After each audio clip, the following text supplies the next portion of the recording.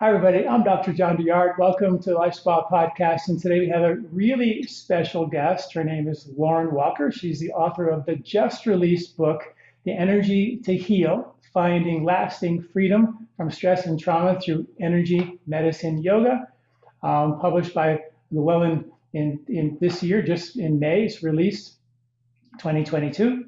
In 2016, she was named one of the top 100 most influential yoga teachers in America. And for more of her work, you can find her at em, emyoga.net. That's emyoga.net. Lauren, it's so great to have you. Um, you know, here at Life Spa, you're like a superstar. Everyone here loves you. Um, so we're all really fascinated to have you here and can't wait to dive into um, you know, yoga medicine, uh, energy um, medicine, yoga, and what does that mean? And I think before we dive into that, I really want to today talk about, you know, how we can unravel some of the mental and emotional trauma that we all have, right? You know, studies show that 95% of the things we think and say and do as young children, um, uh, or, or 95% of the things we think and say and do as adults, are from impressions from when we're when we're younger than six years old and Ayurveda says we kind of go through life sort of unconscious in that way. And the whole point of Ayurveda was to become conscious. And I always say that the human body is designed to perceive subtle energy in ways that no other instrument really can. But I feel like a lot of us don't really get that. Like, like I feel like that's what Ayurveda is about, is to refine this instrument so we can perceive the subtle, like, you know, the most powerful things in the universe, like, or in our world, the microbiome. You can't see it circadian rhythms, Nobel Prize winning science. You can't see it, but they regulate everything, right? But we don't tune into it. But I think this body is designed to feel it and appreciate it and live in sync and in harmony with it. And I and I loved your book so much. I, I, I read it months ago when, when, you first sent me the draft, and um, I think um, I love it. I think it's got so many practical applications, and so I'm super excited for you to demonstrate some stuff for us but I'd love for you to start by telling us two things. One, how you got into that, and then you know help people understand um, what that what that energy is and how it can actually help unravel some of those old emotional old you know emotional traumas that we all seem to carry and make us do the same dumb thing again and again for our entire life right? So how do we break those patterns Mm, mm, wonderful. Wow.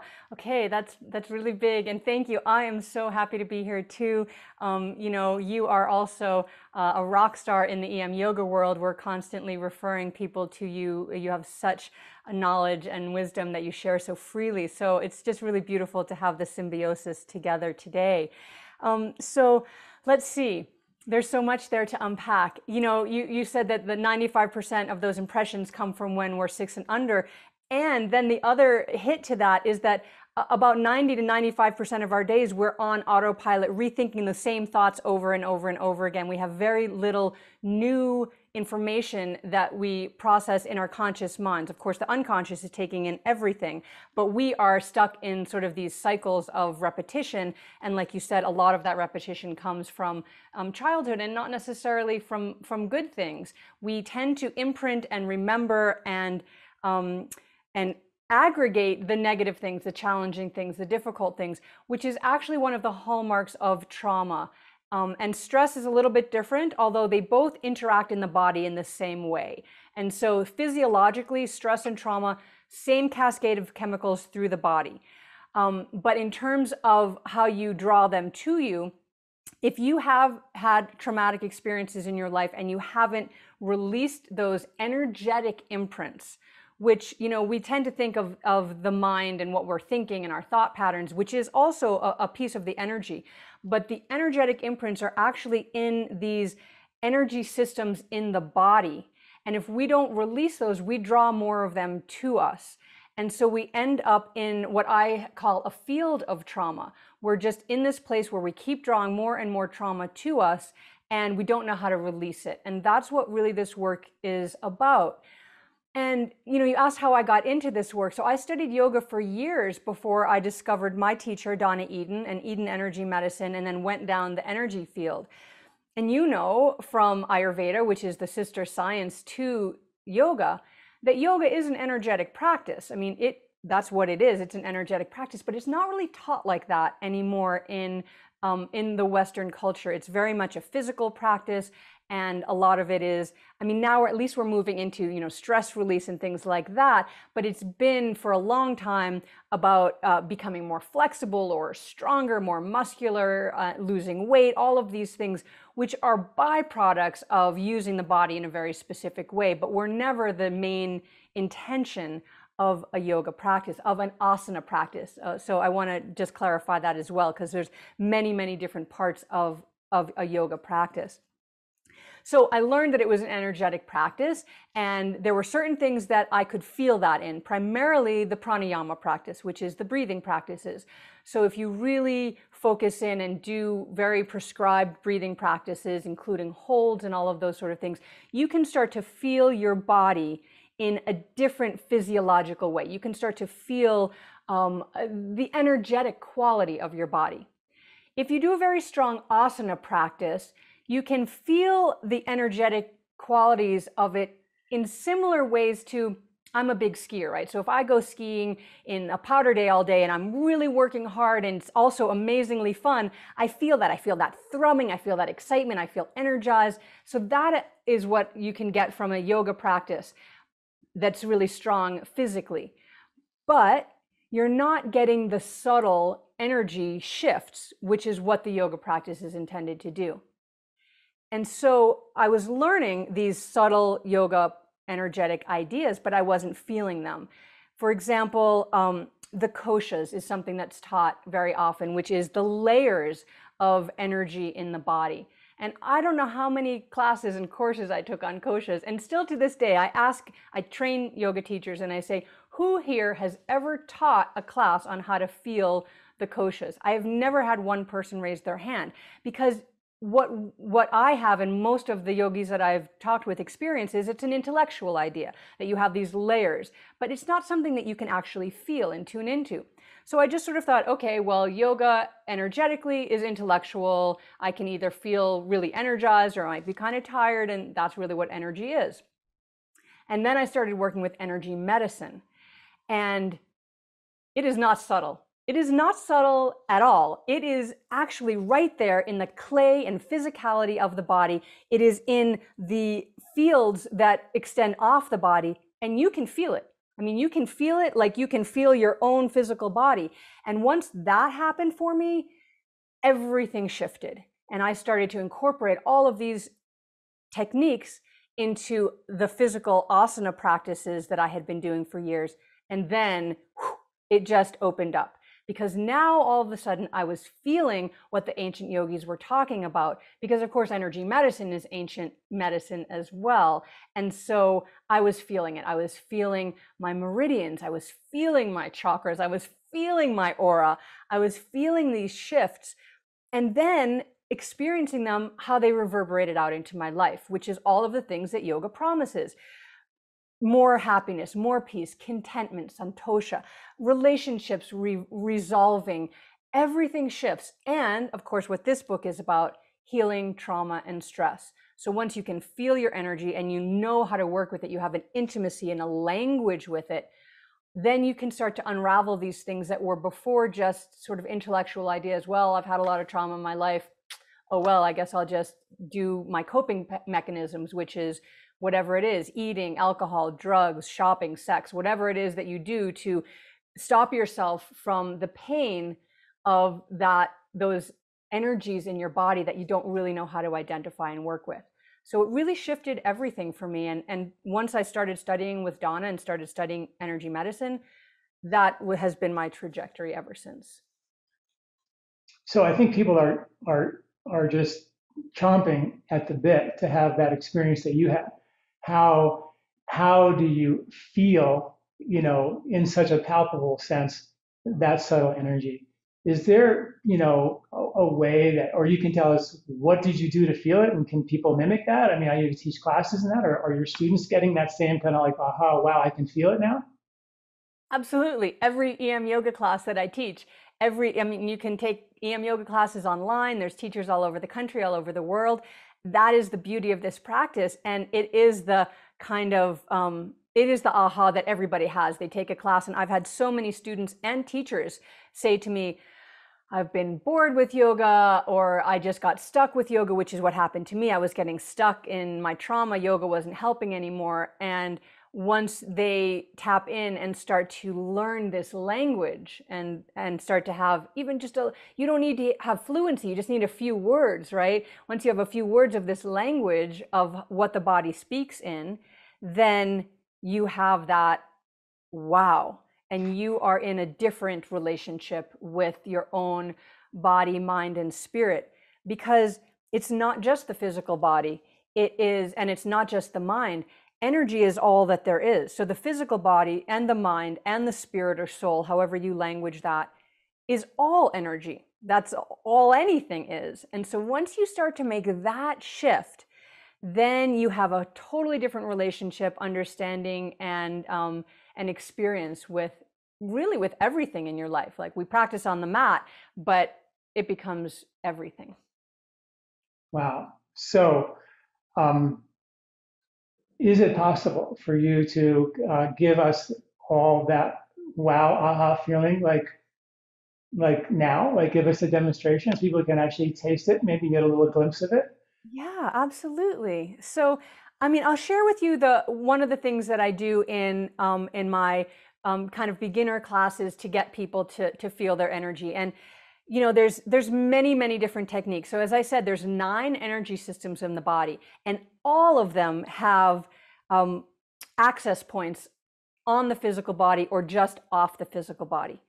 And the easiest energy system to feel is actually the one that's been studied the most maybe second most uh, i think meridians have been studied quite a bit um, is your aura so in science, it's called the biofield because um, when scientists actually realized that what the ancient traditions had been saying for years was true was in fact true, they didn't like the word aura. It was too, I don't know, woo woo for them. So they came up with biofield, which sounds much more scientific, but it's the same thing. So it is this field that extends from the physical body, off the body, um, up to, it's been measured up to 15 feet off of the body.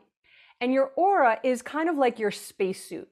So it is what protects you from the environment. It keeps out environmental influences that aren't beneficial, but it also, it's not like a, um, like a, a, plastic lid on a, on a container, right? That it keeps out all the other smells from your refrigerator or something from dropping into it. It also draws in. So it's a porous um, field that draws in experiences to you.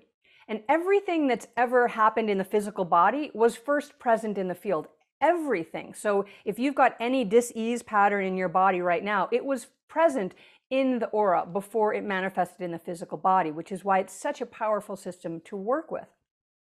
But it's also really easy to feel.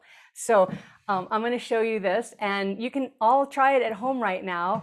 And the, what I do request, and I have a ton of skeptics all the time that take classes from me, and, and I'm good with that. And I will answer questions from the skeptics forever because I love it. Because once they flip, then they're the biggest advocates, right? Um, but what I ask is you just um, put your dogmas or your disbeliefs or your doubts to the side just for this time that we're together and just check this out and see what you come up with yourself. So this one is really easy. You're going to feel your aura. And here's what you're going to do. You're going to take your hands, rub them together, and then just shake them off. And then you're going to bring your hands about the width of your arms extended across. You can keep your eyes open or closed, it doesn't matter. And then you're going to start to draw your hands towards each other. At some point, you're going to bring your awareness in between your hands. And at some point, you're going to feel like a little bit of density, like you're almost coming into a cloud. And you could be like, well, I don't know if I feel that, maybe not. And you're going to keep going. And then you're going to feel like, oh, that thing I felt isn't there anymore. And then keep going. And you're like, oh, there's that thing that might be what she was talking about. No, I kind of doubt that that's it. And you're going to push through. And then you're like, oh, that's not there anymore. And then you're going to keep coming up to that. It's a very subtle resistance. But once you feel it, you're like, that's not so subtle, actually. Kind of like it's a marshmallow. I can really feel that. And then you can push through it and then you come again to another layer of it because your aura has seven distinct layers. And each one of them, you can feel this little density, this resistance. Do you feel that, John? Yeah. And if you don't feel it, just shake your hands off again and bring them, and you don't have to bring them that far apart. And just start again. And, and sometimes it does help to close your eyes so that you're not looking for something. Although this is one of the systems that, if you're going to start to see energy, this is the one that people start to see first. You just start to bring your hands together, and there it is. And once you feel it, it's like, wow, you cannot deny that you're feeling something there because you can push through it and then you don't feel it anymore. And then there it is again. And for some of you that are a little bit more sensitive or maybe have worked with energy before, you might even start to feel some differences within that, some heat or some pulsations. Right. So there is your your aura and it's really really easy to feel and once you feel it then we do all these different things with it so if you're depressed a lot or you feel um, really challenged, like going out into public. A lot of people say that they are um, they're empathic, right? They feel so much energy coming at them. Often, what that is is that your aura is either isn't connected into the physical body, or it's collapsed in and it isn't expanded out. So it's not protecting you because it's not wide enough in the field to actually um, give you that sort of your personal space. I mean, that's really what that is, right? Your personal space is taken up by your aura. And so once you feel that, then we do these techniques to make sure that your aura is connected into you and make sure that your aura is, we call it fluffing in and fluffing out. Make sure it's fluffed out so that it's really taking up the full space of you. So, so that was great. Thank you. And, you know, the, um, from the Ayurvedic perspective, you mentioned a minute ago that that um, these old emotional traumas that we experienced as young children, they're um, they're recorded in the white matter of our brain. Ayurveda says we feel it in our heart, sadhaka. They're carried to our brain through pranavata, and then they're written, scribed into the white matter of our brain. That's something called Tarpaka Kapha, which has to do with the, the impressions and the scribing of these old emotional patterns. So it's like you were a kid and ran into a cave when you were 10 and a bear chased you out you could be 99 years old and you're never going back into that cave because it's a species survival thing. So the idea is to create a level of heightened awareness so you can actually perceive um, the trauma as a trauma so the body can recognize the problem as a problem and then heal it and repair it. And um, so I wonder how do we take this awareness of our aura and this subtle energy and how do we use that awareness to create a level of heightened awareness uh, so you can begin to see the problem as a problem and create a spontaneous healing effect. You have a scab, you cut your finger, you have a scab, you don't think scab, scab, scab. It's an involuntary process. So this would seem to be an involuntary process. All you need to do is enhance the awareness. And what you just did definitely gave us a glimpse that, oh, yeah, I can enhance that awareness. I can feel it. But now, how do I use that in a way to to create um, you know, to direct it to these places where the emotional trauma lives? Mm-hmm, mm-hmm. No, that's a great question. And, you know, one of the things that that I do in terms of healing trauma, there's sort of two tracks to it. There is one that you've just mentioned, which is about bringing that to consciousness, raising your awareness about it, raising your consciousness about it so that you can then direct healing specifically. And that we do with very um, specific exercises. There's a lot of writing exercises and, and working with the conscious mind to retrieve things that are in the unconscious mind and then bring those two in alignment because that's a lot of the trauma is that there's a split, there's this disconnect um, between the unconscious, which knows that you are pure love, right? And then the conscious, which had the trauma, which for most of us, then that hit of love that we think that we are becomes um, deranged or becomes distorted because of whatever experience we went through. So there's a conscious way of working with it. And I was going to say but, but I'm going to say and. How we work with it in energy medicine yoga is on the level of the unconscious because a lot of our trauma happened to us. You mentioned six and under. So my parents got divorced when I was three. I know from stories that I had a lot of trauma around that. But consciously, I don't remember any of it. I was three, and, and so I don't know any of that. But it is held in my body. And so I could do a lot of work to try to bring back memories from 65432, or I could work with the energy, which once you start to release it, releases that trauma without you having to go back to the story. So not only is if your trauma happened in a pre-verbal, pre-cognizant way, but also a lot of our trauma is something that we don't want to revisit consciously because it is harrowing. It is I mean, a lot of us have had experiences, traumatic experiences that we can't even don't want to talk about go back to and you know talk therapy or, and desensitization therapy right? It's all about like tell me your story a thousand times. Well oh my god if i told you my story once you would be a puddle on the floor. I wouldn't anymore but for years i would have been a puddle on the floor. And that's not really helping either one of us but certainly not me who was the trauma person to resolve my trauma and so what we do is we work with the trauma from the energetic level. You don't have to tell the story. And the way, one of the powerful, most powerful ways is working with that in the chakras because your chakras are the hard drive of your energy systems. And so they record everything. You talked about the Tarpika Kapha in the brain taking those recordings, but it's also recorded in each chakra depending on where your trauma was. If you had a, um, a sexual trauma, it might be in the first or second chakra. If you um, had, you know, a, a heartbreak trauma, it would be in the fourth chakra.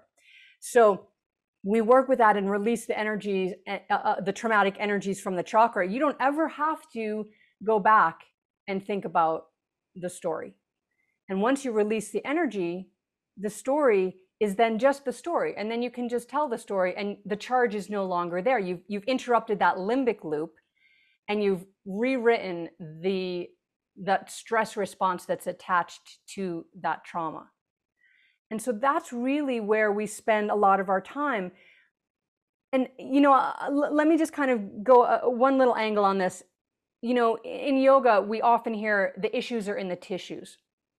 So people will be doing an asana class and stretching some area of their body and all of a sudden have a stress response or a trauma reaction.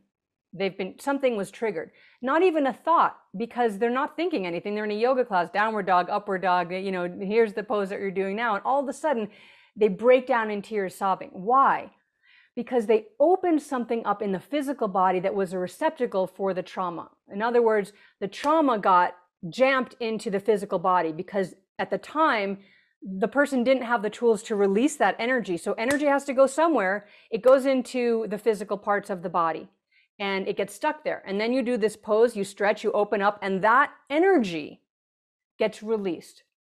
And so how do we deal with that? And that's where we, what we really look at. We don't we're not so focused on the story because oftentimes telling the story just re-cements that trauma response in the body so that's what we're, that's what we're working with. So not so much about bringing it to consciousness, but bringing it energetically and releasing the energy of that so that that spin goes spinning off into out of your body, out of your energy systems and then just resolves back into the field of everything into the ether where energy where everything is just energy.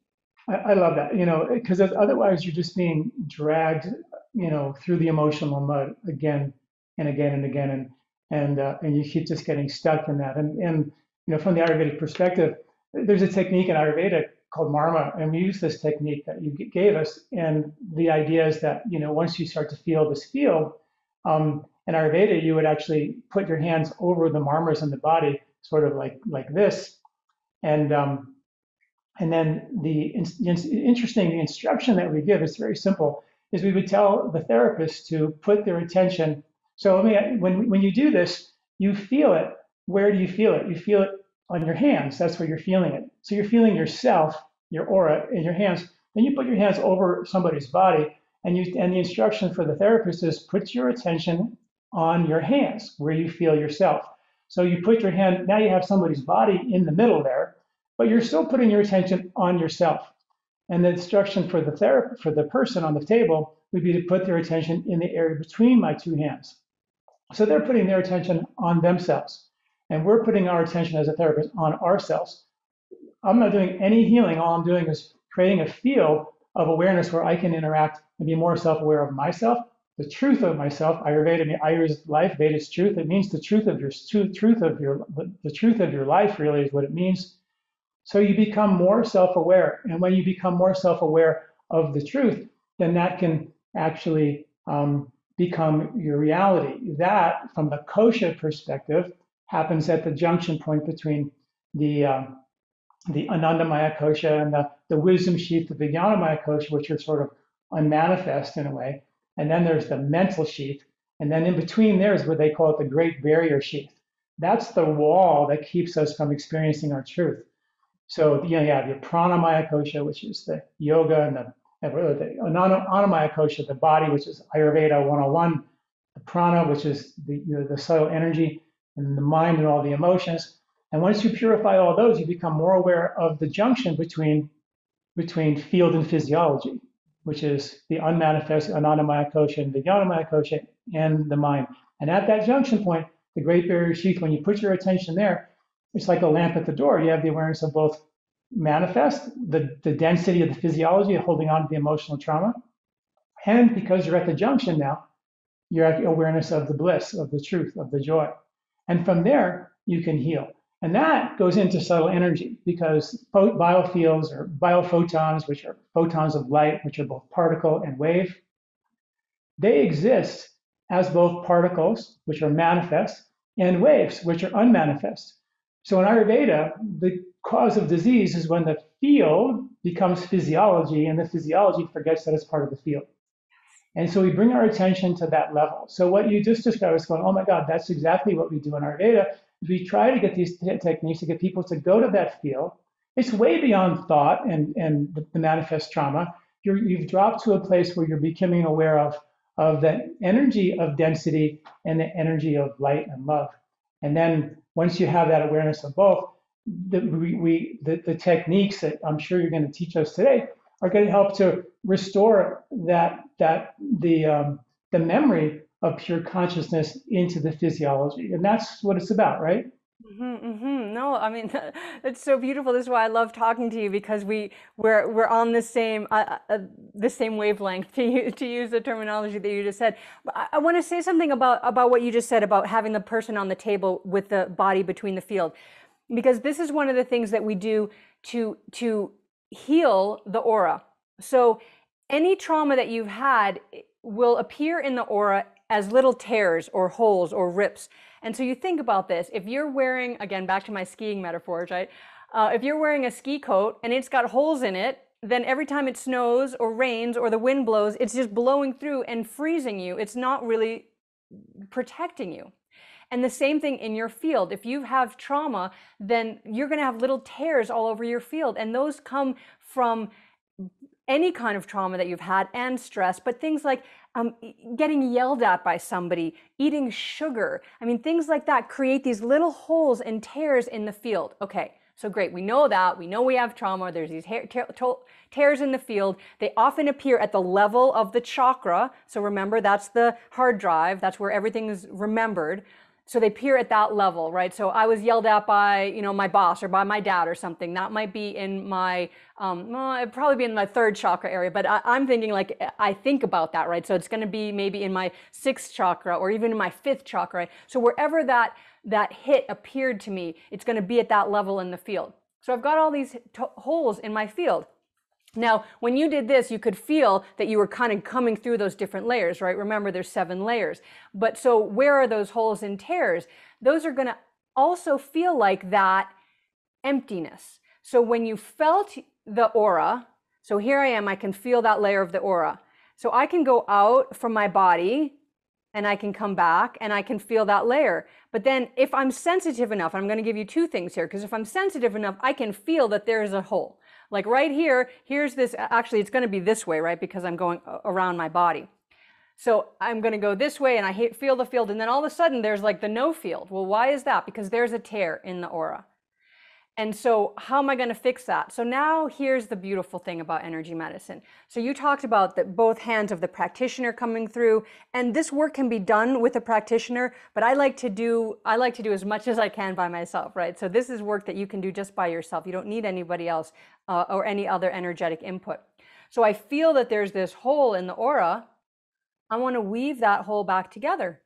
And that's really all I'm going to do. So I'm going to do either circles, and I always think back to Ram Dass polishing the mirror. I think this is what he meant, even though that's not what he was actually talking about. This is what he meant. You're polishing the mirror. You're you're fixing the fields. You're fixing your tears in your aura. And maybe right now, what I'm fixing is some cancer that in five years or 10 years is going to manifest in the physical form, like you said, wavelength into um, into matter, but maybe now I'm taking it out of the broken wavelength. So I'm either going to do circles or I'm going to do figure eights. Figure eights are the most predominant uh, ge- geometric pattern in the universe and the most predominant in your body. The more figure eight patterns you have in your different fields, the healthier you are. And the healthier you are, the more figure eight patterns that you have. And so any kind of injury you have in your body, you you know, you hurt your elbow, you're going to draw little figure eights over it and help that energy reconnect back together. But I'm going to do this now in the field. So here I am. I'm, I'm fixing this tear, and then um, you can you can sing the the Beatles song. I'm fixing a hole where the rain comes in. Right. So I'm to fix all these tears all around my field. So that's great. I can feel them. I can see them. I can move out. I can move in. I've got all these layers. But you're saying, yeah, but you know what? I didn't feel that. I get that you're saying it's the easiest field to fix, but to feel, but I did not feel my aura. So what do I do? Am I, that's it? I can't fix my, no, it doesn't matter. You can just go and give yourself these figure eights all in your field, which is part of what we do in EM yoga, which now again is part of why if you're a skeptic, you're going to be like, oh my God, there's that lady up there doing her crazy dancing up there. Okay. You can think that all you want, but if you start to do this work, that's when the skeptics turn around and they're like, oh, everything changed. I don't know what I did, but I started to do these things and then I'm sleeping better. I'm not fighting with my spouse anymore. Uh, my job got better. I, I have way more energy. I don't know what's going on. I can't feel anything or see anything, but I'm going to keep doing it. So these are the ways whether you feel the energy or you don't. And the more you start to practice this, it's like if you're learning another language, you know, first you have like cerveza, hola. But then you start to practice it enough, and all, all of a sudden you're like, hola, yo estoy Lauren, ¿dónde está usted? Right? You can start to, you put words together, and then somebody speaks, and you're like, I understood that because you're starting to have this intimacy and it just starts to happen. You start to feel these things that previously you might not have. Wow. Wow. So, you know, it sounds to me like that you know the, treating your aura is i'm sure the tip of the iceberg right? I'm sure it just gets deeper and deeper and deeper and deeper. And in your book you talk about the five elements and how each of the five elements um, relate to an underlying you know emotion or a possible issue or possible emotional trauma and how you have different techniques to unravel uh, those. And you also have a body a questionnaire which i filled out um, to figure out my uh, my dominant um, element and and all of that.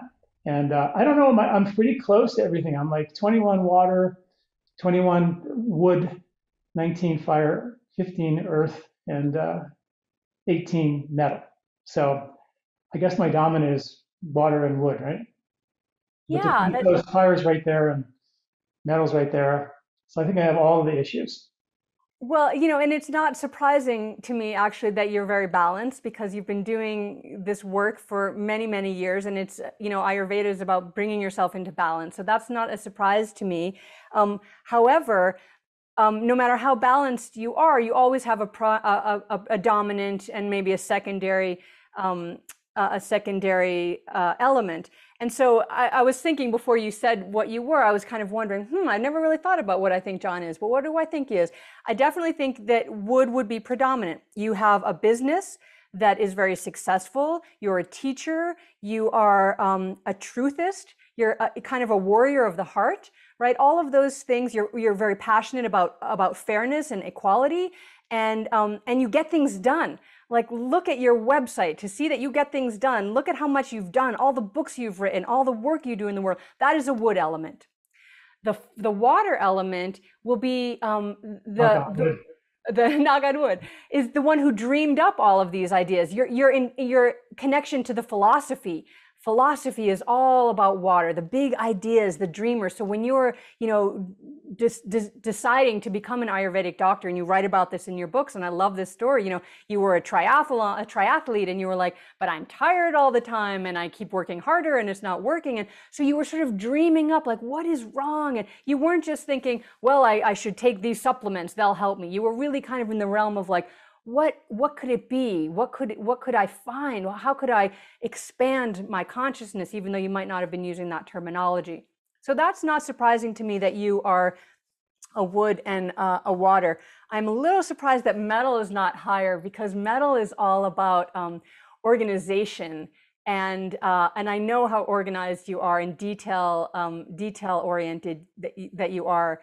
Um, but that you know you still have that in you. You're, it's not like it's like a, a, 10 or something like that. But that's not surprising to me. That really that makes sense that you're a wood water. And I'm also a wood water, so I, I can I can understand that. I sort of resonate with with um, with the things that that you that you speak of as well. Huh. Okay, so um, let's use me as an example. And and uh, so I'm a mess. I have a lot of wood and a lot of water. I have a good amount of 18 metal. I've got 19 fire. That's probably not good. Um, so, so what would you do? What would you do to me to help me, um, you know, unravel my issues? And then I, I was hoping that maybe you could even demonstrate. Like first, talk about let's talk about what each of those elements do energetically and emotionally, and then maybe we can talk about some strategies to fix them. So people can have like, okay, I have anger issues you know, what can I do to fix that? And you can give us a couple of tips. This is great, by the way. People are going to love this. And by the way, this is all in her book, her new book just released. You got to get pick up this book. You fill out the questionnaire, you fill it out, tells you what practices do for for each of the elements to unravel your emotions, basically to give you that heightened self-awareness so you spontaneously heal. You don't have to be dragged through the emotional mud. You don't have to think, you know, I did this and it might and carry the shame and the blame for the rest of your life. It's not like that. You know, the body is love, and only thing that's lacking is letting it out. You know, and it's been trapped. And what this is really about is perceiving subtle energy in a way that allows us to experience the truth of us, the Ayurveda of us. So, so um, yeah, maybe first you can start by giving us a little description of what each of the elements are like uh, from an emotional perspective. Mm-hmm. Uh, I'd love to do that. And, and I want to emphasize what you just said, because that really is, um, if not the crux point, one of the essential pieces of healing anything is loving of the self, true, deep loving of the self. And if you've gone through trauma, chances are that that has been diminished in some way, that that has been either completely wiped out from your knowledge or that you uh, don't have access to it any longer, or you don't believe it to be true, that you are worthy of love. And if you don't love yourself, it is really impossible. I want to go out on a limb and say that it is impossible to completely heal because part of the healing is to love yourself. And so some of the techniques that we do in this in this book are to come back into love with yourself because I was a prime example of that through the traumas that I went through. I, I hated myself. I mean, hated it. And when I started to try to fall back in love with myself, it was like I would try to find one thing, just one thing that I could just like. Forget about love. I just, what could I like? And it was just starting small. Like I would look in the mirror and I would just loathe everything I saw. And I'd be like, okay, eyebrows. Okay, I got, I got good eyebrows. I, I like my eyebrows. Like some days that was it. Okay, so I just want to let you know that that is a piece of the work that we're doing here. That love is the place where the healing will scoop you up and hold you and, and bring you to the, the beautiful life that you deserve and that is waiting for you. And that I want to help you get there because I know that it's not always easy. And, um, and there's techniques and tools. It's not just like, you have to go love yourself. Like, what does that mean? I don't. How can I? I'm going to give you really actionable tools to do that because it's important. It's the most important thing. Okay, so the five elements. So each element, um, this is kind of the umbrella, and I'm just going to give you the thumbnail, right? But this is the umbrella that there's these five basic emotions. Obviously, there's tons more than that, but there's these five basic emotions, and that every experience we have has a little bit of each one of those in there and that each of those emotions brings us information, right? It brings us a piece of information of the story. And that we need that piece of information so that we can release the trauma, release the story, and be free from it. And so, um, so that's the path of this book is is for whether you have one trauma that you're dealing with or just every everyday experiences right we have we get angry we get upset we get annoyed every day and each of them has a little piece of this in them so the water element is where all healing starts. Everything starts in water, right? That is the um, the fluid from which we came, and it's the quantum uh, ability of everything. And so in water, the out of balance emotion is fear, and we balance that with courage. I'm just kind of going to go through these so that we can get time to do a practice. So if you want to go deeper into these, then then you should definitely get my book. So um, so that's water and I and I give you in the book too, like the archetypes, like I talked about with you, um, the, the, philosopher, the dreamer, the king, right? That's all water elements. So you can start to look at the archetypes and and see what you are. But if you're also not sure, it's like what is your stress response? So when you are stressed out, is fear your first response? If so, it's likely that you're a water element. The next element is wood, and out of balance, wood is anger and we counter that with assertive action. So I'm a wood element, and literally every single thing that slightly knocks me off center, anger is my first response. Every single thing, it's anger. And now I know that. So instead of beating myself up for it, I'm like, okay, I take a pause. I'm angry about that. Okay, what can I do to transform that, to take assertive action? But this isn't just intellectual. I'm going to show you a little technique because when you're angry or afraid, it's not like, okay, let me sit down and what do I do with this fear, right? It's a visceral thing. So I want to give you visceral tools. So that's water and wood. And then the next one is fire. And out of balance or challenging of fire is anxiety, right? Which we have a lot of in the world right now. And we balance that with inspiration and joy. So that's how you bring in so you mitigate that anxiety. What can you how can you be inspired to overcome whatever it is that you're anxious about? The next one is earth, and that out of balance is worry and thinking about everybody else. What do they think about the situation? What do they think about me? What are they saying about me? What's going on in their lives? It's like that little bitty body, busy body that's always like, what's going on everywhere else? And the antidote for that or coming into balance, here's that crux piece it's self love. It's self love. I'm going to focus back on myself. I'm going to love myself completely. And then that spreads out. And I'm, then I'm going to be in community. Then I'm going to be in joy. Then everything is going to come from there. And then the last uh, element on the wheel is metal. And out of balance metal or the challenging emotion of metal is grief. And so you'll know people, maybe you've even been one of these that is grieving for something, a loss or a, um, uh, something someone harmed you or something that you're just you, you're grieving. It's actually more than than being harmed. It's really it's a, it's a loss. And that you can't let that go. And the antidote for that is letting go but also faith. It's that faith. It's that there's a bigger picture. I might not be privy to it but i have faith that it is there and that there's a, that there's a bigger story here. And that's um, that's a challenging one. Metal is often the most challenging one because it's really hard in the face of loss to see that there's a bigger picture. And certainly when you have a loss, you never want to hear like, well, there's a bigger picture. There's a reason why that all happened. You're like, oh, you know, my, my dog just died. Don't tell me that there's a better reason for that. But in time, and that's what metal is, it's about harvesting wisdom and in time you can see. And and the more that you practice these then the the easier it is to to to come into that antidote and to come into that balance.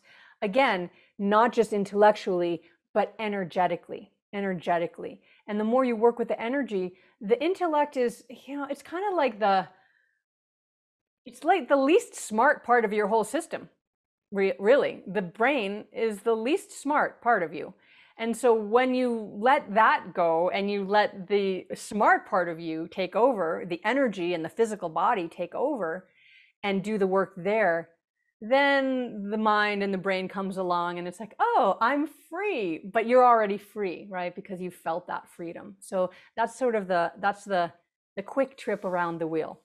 Wow that's beautiful. You know i love how human you are and how you know self-deprecating you are and how you know because everyone has these issues i'm sure a lot of folks look in the mirror and go oh you know what can i do to make this better or or don't love themselves. And I just think it's really neat because from the outside in, you look like you have it all together. You te- I mean, obviously you surely do these days.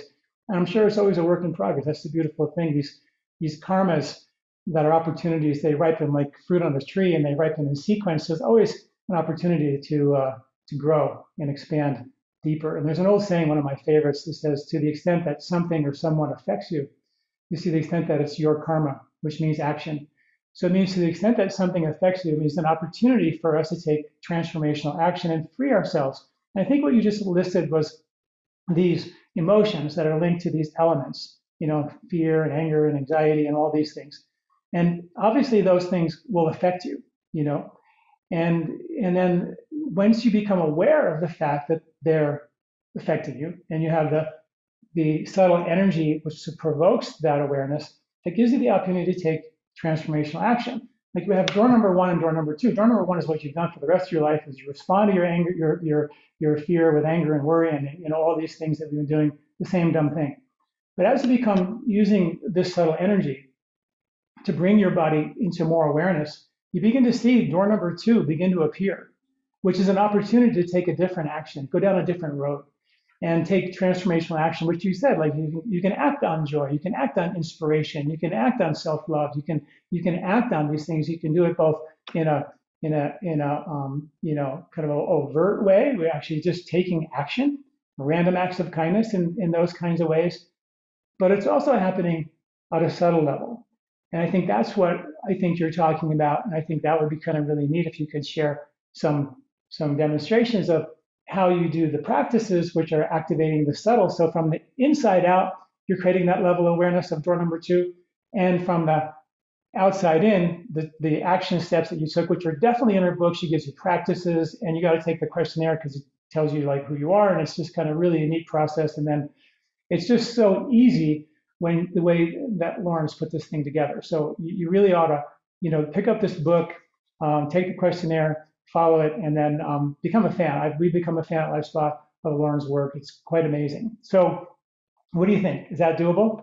Absolutely, absolutely. So what I'll do is I will show you, and um, I love that you keep using the word subtle, but I want to kind of rebut that a little bit because what you're going to see me do right now is not subtle at all. So these are big movements, and that is really um, the piece that I found so um, so joyful, to be honest, in this work is that I for a long time, I, uh, i am very sensitive, but I didn't understand and I didn't that that sensitivity to that subtleness that you're talking about because I'm not a subtle person at all. I'm like the antithesis of subtle.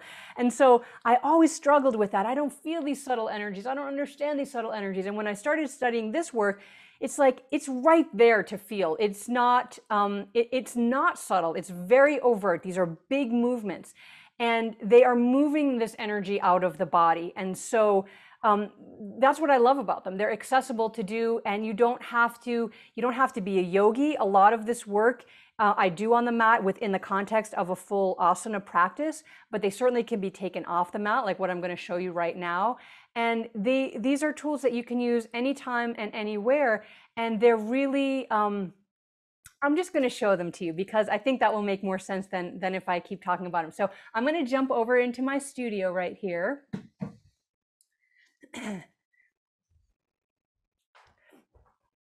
okay.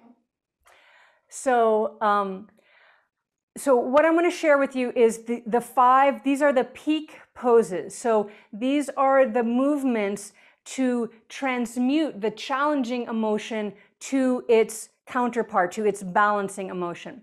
And you're going to hear me also make sound because each element, these, these sounds come from ancient Chinese medicine. So each, okay, I got to unpack this a little bit for you. Each element has five element theory encompasses everything, everything on the planet, every uh, emotion that you experience, every experience in your life, every physiological part of your body, the seasons. They, it actually mean the elements are about movement. It's not a fixed thing. Um, they were called walks or rhythms because it's about movement, right? Your life is a movement. You're never fixed in one point. Even when you're sleeping, your body is doing trillions of things. So you're never still. Nothing is ever fixed. And so these, um, each element has two or more organs that it governs. And these sounds help to move energy in those organ systems, which are where these challenging emotions are held. So you've maybe heard that like anger is held in your liver, right? Well, the wood element, which governs your anger, governs the liver and the gallbladder, which is where you've heard before in, in yoga classes that anger is held. In the kidneys, you've heard before, I'm putting my hand here at the kidneys, right? Kidneys hold fear. Well, kidneys are governed by the water element, which is that fear element. Okay, so um, I, am not going to tell you all of five element theory because it would take the rest of our lives, but I just want you to know that so that these sounds that I'm going to make are helping to move that emotional energy into its balanced counterpart. Okay, so again, all of this is in the book, and you can watch this video over and over again so that you can so you can get these. And um, I'm not going to show you all of the variations, but if if you have any physical limitations, you can do these practices no matter what. So you can do all of these practices seated in a chair. You can do them all lying down in bed. If you can't move at all, if you have some kind of um, physical um, limitation that you're in a wheelchair or you can't move or you're in a hospital bed, you can visualize these practices and the energy will still move. And there's a lot of really beautiful experiences that we've had um, with people that, that can't move but have moved their energy. So no, um, there's no reason that you can't do all of this. But as I'm doing this, I'm just going to show you kind of the, the root of them. I'm going to show you how they, how they um, appear in their sort of archetypal way. And then you can make adjustments as your physicality requires. So I'm going to start in water. In a squat, one hand around my knees, one hand forward to counterbalance. The sound for the water element is WHO. So every exhale I make is going to have that sound. So if you have fear, this is the pose that you're going to do. You're going to drop your head and then you're going to inhale.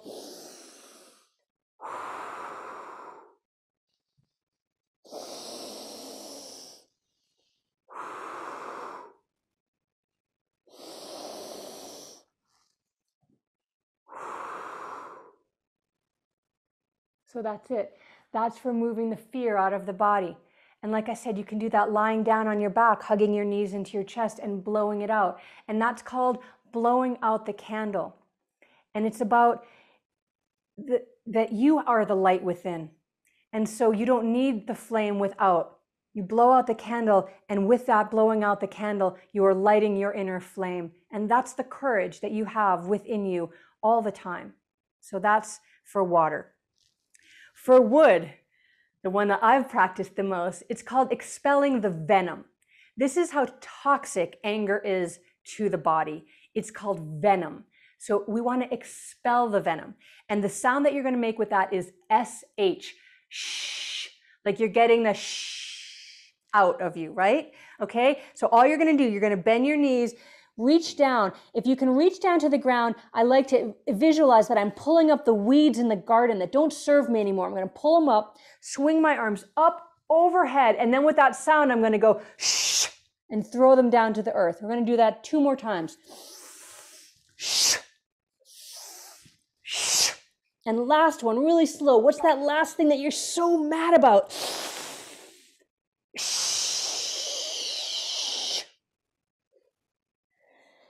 And just shake it off. And there it is. You've just gotten that venom out of the body. You've moved that energy out of the body and you can feel it. If you're angry right now, do that and you can feel it. All of a sudden you're like, huh, I just released something because you did. Okay. Fire. This is called bringing down the flame. So you think about anxiety and the metaphor that I use is a wildfire. Sadly, we have just had, you have had down where you are, um, John, down in Colorado, these crazy wildfires that burned out of control. And the goal is, is to seat that fire into each chakra that it resides in so that you can come back into centered, into groundedness and bring the fire into where it's a flame to warm you and to feed you and to nurture you instead of burning out of control and having that anxiety. And that is all in your field. So we're actually going to scoop that out of the field. The sound for this is H A. And you're going to see me touch every chakra except the throat. I'll explain that in another class or another podcast that we do, but we're not going to come to the throat chakra. So it looks like this.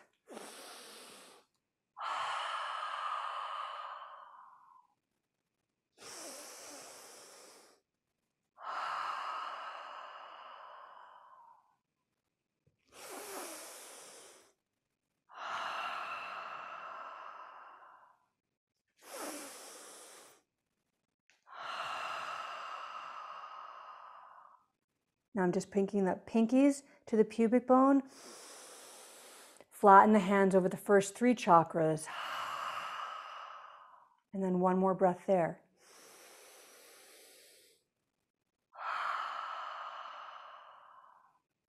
I'm just going to sweep down and shake it off.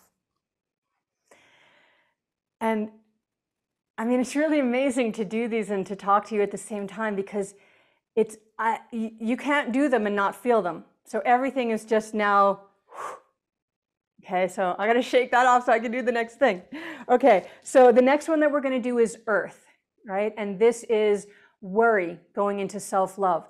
The sound for this is the Ujjayi breath, which is the yogic breath. It's a little bit of a compression at the back of the throat, in the glottis at the back of the throat. Sometimes it's called the Darth Vader breath.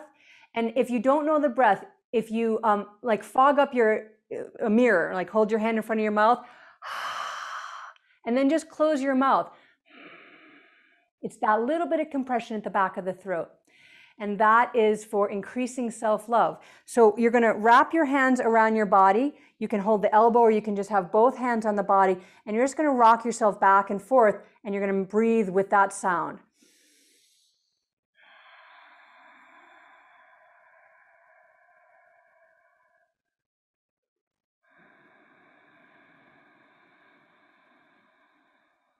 Then I'm going to still my hands, bring arms up overhead, hold your breath, and pull down four times. Start to exhale and smooth behind your ears three times. Arms come out to the side, sweep them all the way out and down.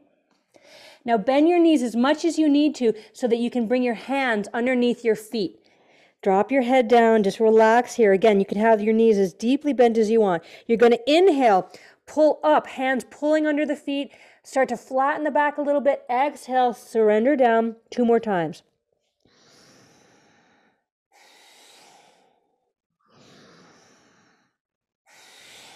Now release your hands and you're going to smooth your hands up the inner legs. All the way up the body to the side ribs and then just come back to that hug again.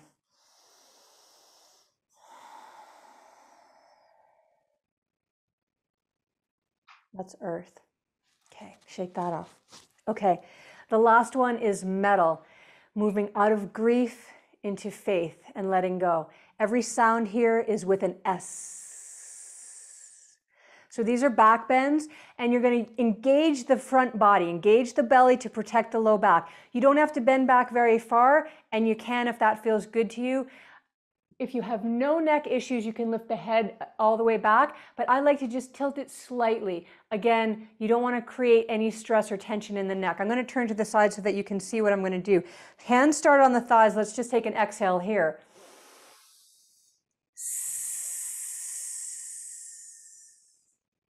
First inhale, arms are at the waist level. Exhale, you're going to bring your arms together in front of the body like you're holding a beach ball, but the hands don't touch.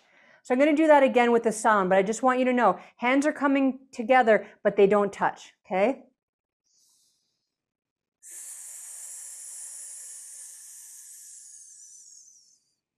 Next, inhale, shoulder height.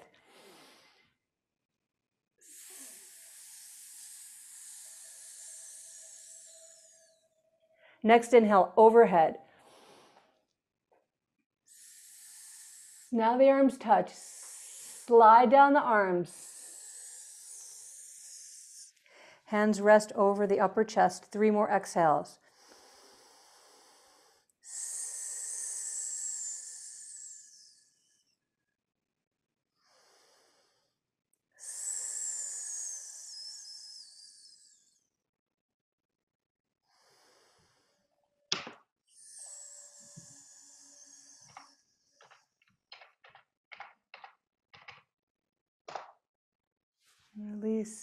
It off. Okay, that's it. You should feel just beautiful and peaceful and just really balanced right now.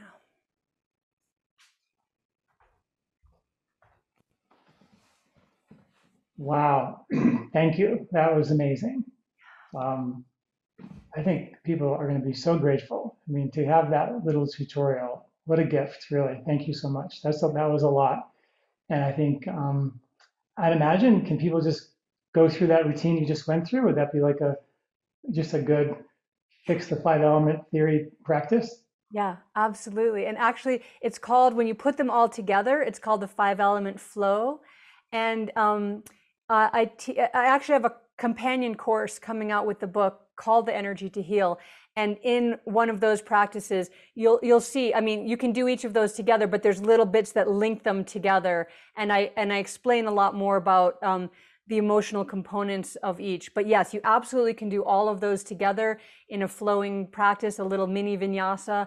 And um, and just you know the thing about our emotions are so instructive but they're also they can be disruptive. And so if you have a way every day to release the emotions that aren't serving you, then you're going to be less stressed.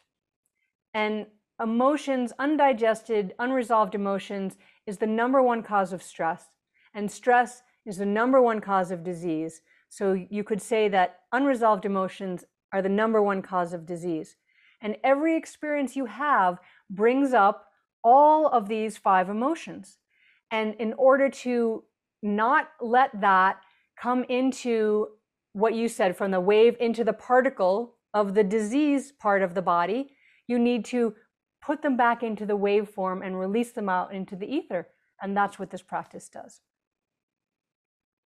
Wow. So this is really a wonderful roadmap. So for folks, you know, they get to be able to kind of tune into these elements and kind of track, you know, how their their their imbalances and emotions are manifesting in their physiology, and then and um, and then do these practices to to release them. I, I think it would be great if you could repeat for everybody, you know, because we talked about how these emotions are stored in the tissues, they're stored in the white matter of the brain. We hold on to them for dear life. They're sort of our species survival thing.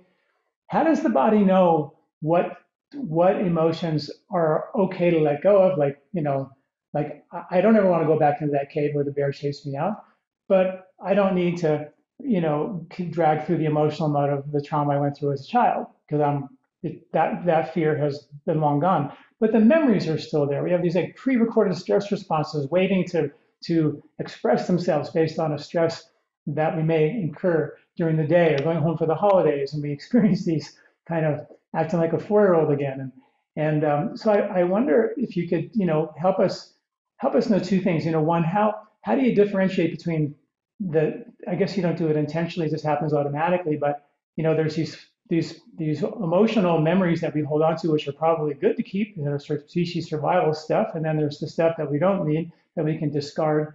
And I'd love for you just to go over it again. I think it's worth repeating the mechanism of how this works to unravel those those those emotions. Because we all know it's this crazy mind of ours that plows through our physiology and makes us mentally and emotionally you know unwell as well as physio- physiologically you know age faster and degenerate faster. We just don't need to go there.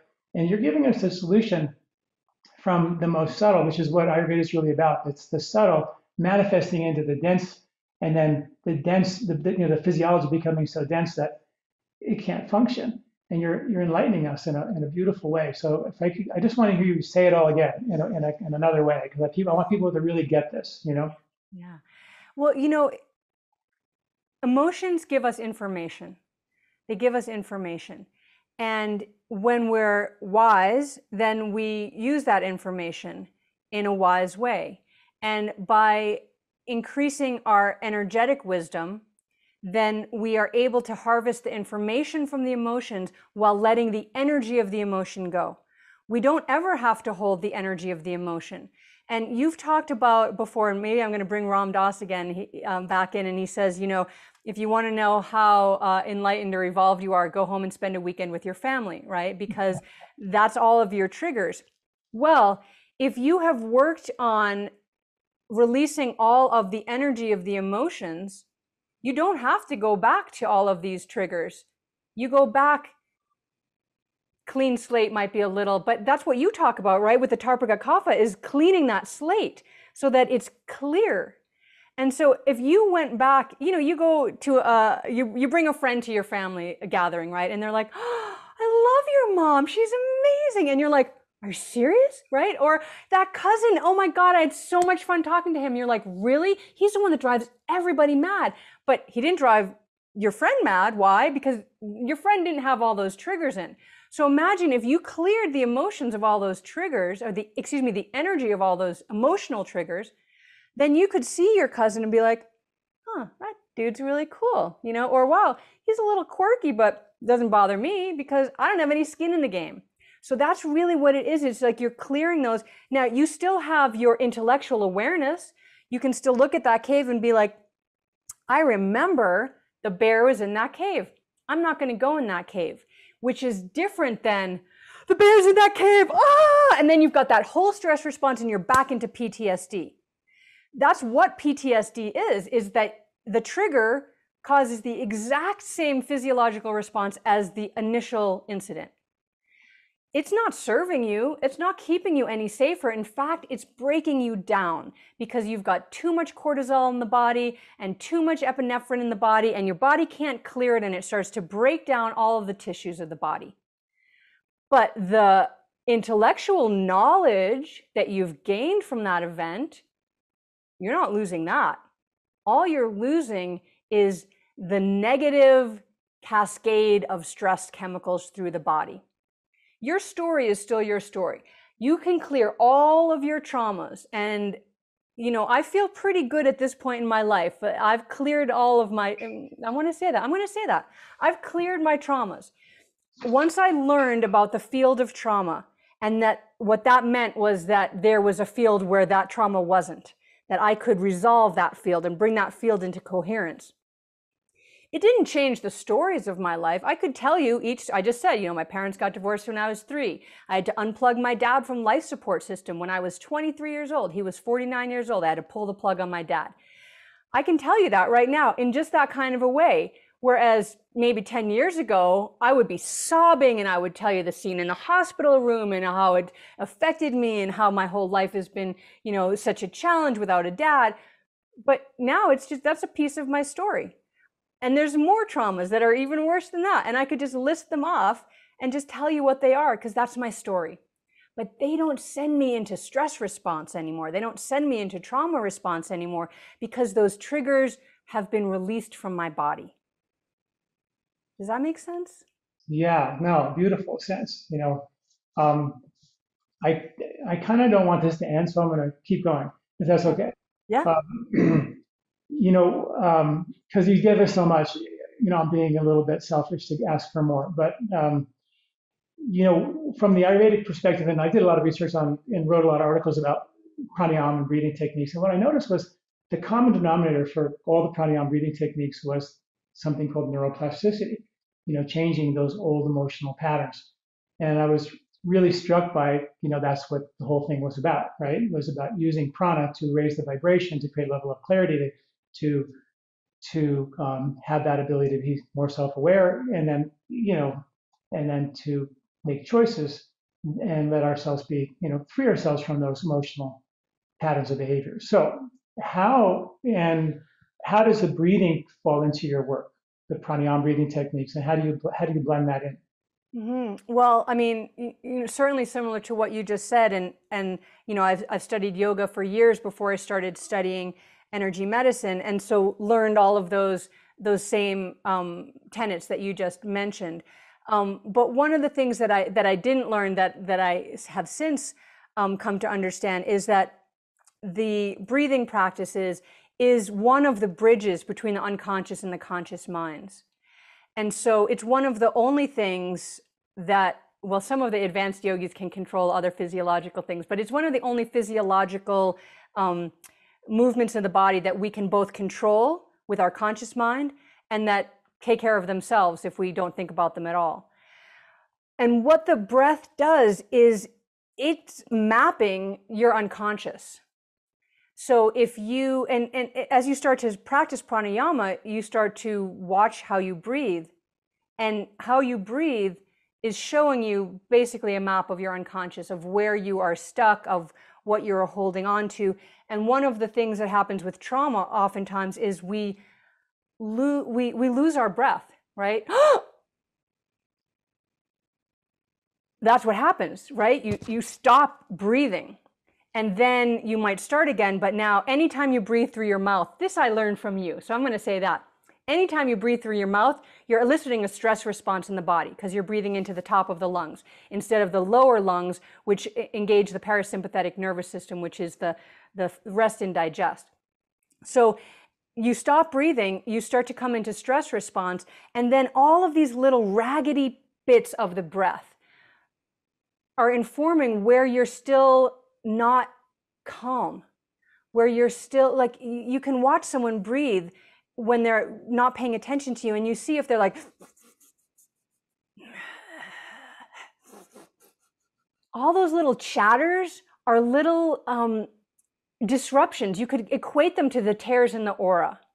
If your breath is, is ragged, it's showing you that there is still trauma and that there's still stress. And the way to start to smooth those out, the way the breath works is they it start to smooth those responses out in the nervous system, in the unconscious. And so it starts to clear as well some of those traumas. So that's one of the techniques that we use quite a lot in this book. Um, and and actually, one of your big contributions to this book is to bring the Bhramari humming in as a trauma response tool.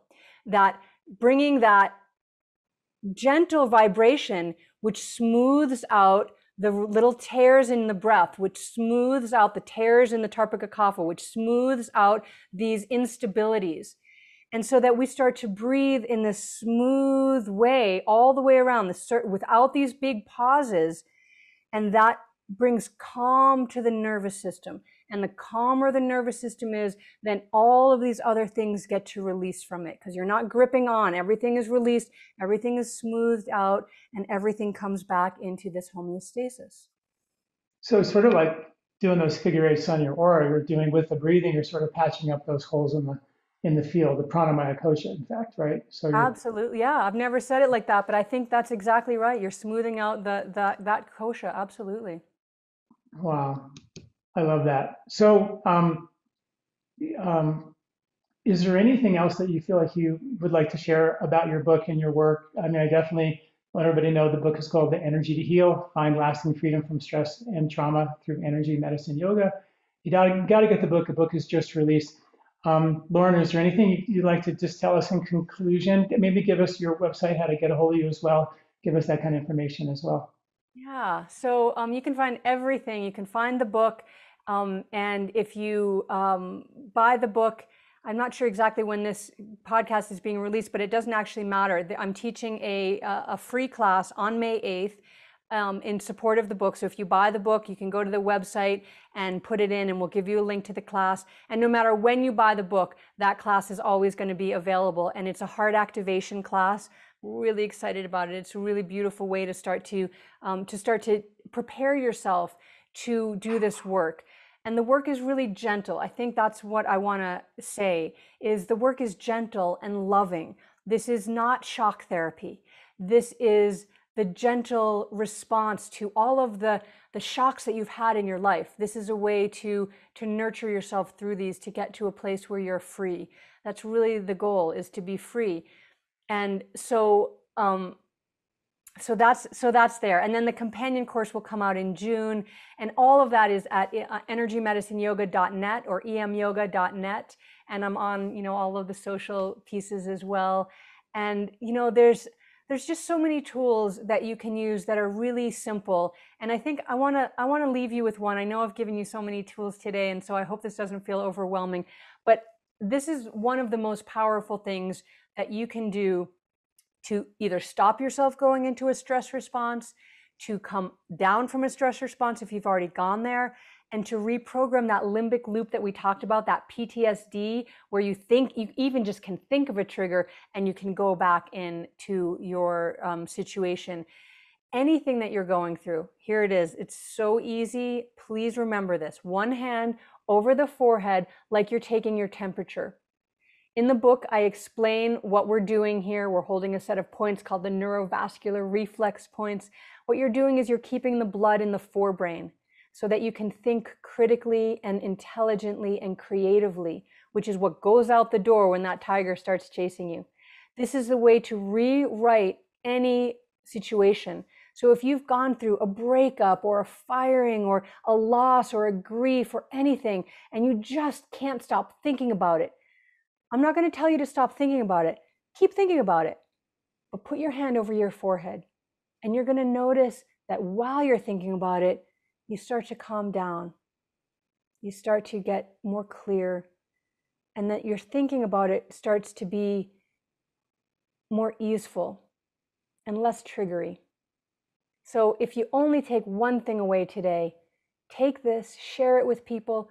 We need to bring the temperature down of the whole world right now. And a part of that is coming out of our stress, out of our trauma. Hurt people hurt people. So we have to heal our own pain so that we stop perpetuating that pain on either ourselves or on others. So I, I, just encourage you to just dip your toe into this work because we need you to do this work because we are all in this together. And we all want to be in this place together in joy and beauty and compassion and love and generosity. That is our birthright. That's what we could have and what we can have and what we will have if we can just commit to releasing the junk that has stopped us from getting there before. Lauren Walker, so, so beautifully said. Thank you so, so much. It's been really great. I think everyone's just going to love this. Um, once again, the book is called The Energy to Heal by Lauren Walker. It's out now. Go get it. And we would just love, love to have you back. So hopefully we'll make that happen soon. That would be great. Thank you so much. I always enjoy speaking with you. I always learn so much from you as well. So anytime I would be back here in a heartbeat. We'll make that happen for sure. Thank you so much. Thank you. Do you like this video? Don't forget to subscribe and share. This recording is brought to you by LifeSpa, where ancient Ayurvedic wisdom meets modern science. Get access to free health video newsletters by Dr. John at lifespa.com. These statements have not been evaluated by the FDA. These products are not intended to diagnose, treat, cure, or prevent any disease.